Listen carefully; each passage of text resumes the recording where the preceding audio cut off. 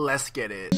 I suck his dick with a smile for hours at a time. Stare at his nutsack while I hold back my cum tonight. And when he asks me what position, I say doggy style. And when they ask me what position, I say doggy style. The fact is, I can never get off of his fat dick. I'm home. And all that they can ask is.